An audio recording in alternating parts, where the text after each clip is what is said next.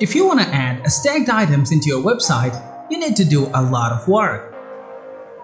But you can create this design format within your Elementor site by using the Image Stack Group widget of Happy Add-ons. You can display icons, logos, and your team members' photos and customize them in a smart way.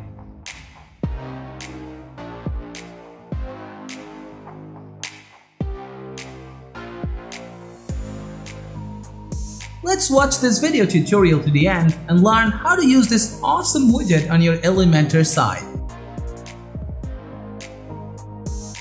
Things you'll need The free version of the Elementor and the free version of the Happy Add-ons.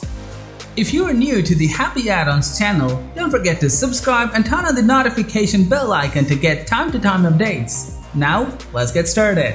Open the Elementor editing panel Search for the image stack widget and add it to your desired section.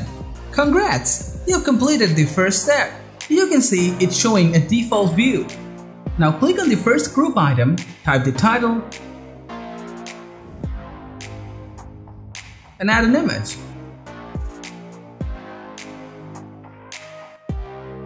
Following the same process, add the image and title for each group.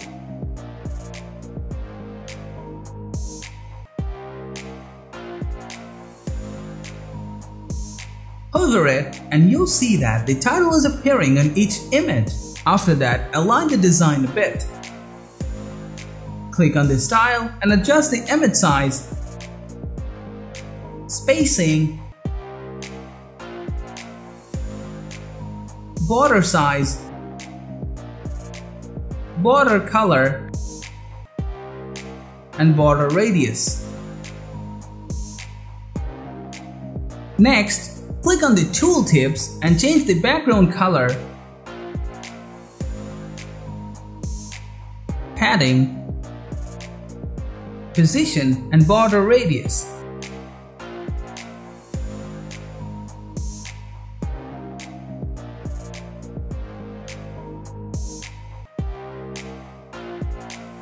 Check and explore all the available options one by one and apply them carefully to achieve a better outlook.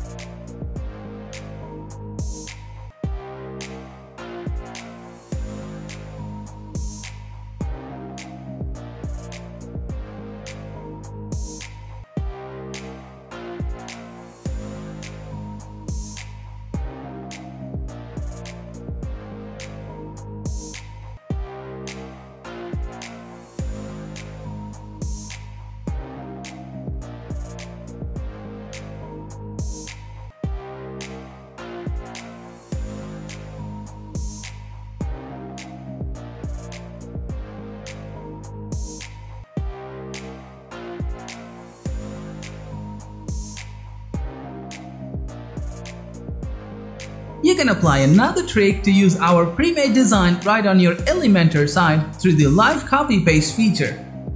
Just copy the design you like and paste it here. Let's see how to use it.